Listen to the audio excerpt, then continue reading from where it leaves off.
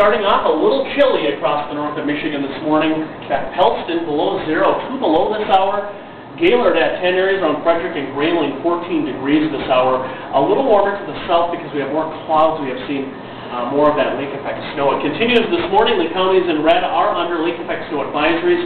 Mason and Oceana counties after 15 inches of snow fell yesterday at Hart and Oceana County. Lake effect snow warnings there. This is where the bulk of the lake effect snow is currently. A report from a viewer in Bellaire of 7 inches there that extends through much of Kalkaska County, parts of Crawford, and then northern Missaukee County also looking at some of that heavier snow this morning. So take it easy on temperatures